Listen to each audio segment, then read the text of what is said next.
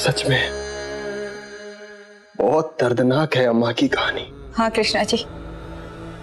और यही वजह थी कि माँ जी और बाबूजी अम्मा के बीते हुए कल को आपके सामने नहीं लाना चाहते थे। कृष्णा जी का अम्मा को ठीक करने में आप हमारा साथ देंगे?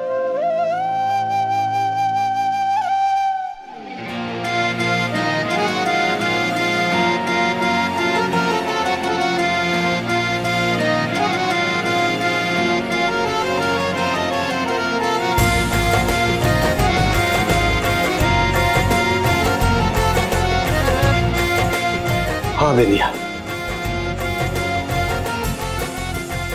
अम्मा को ठीक करने के लिए हमें जो कुछ भी करना पड़ेगा ना, हम करेंगे।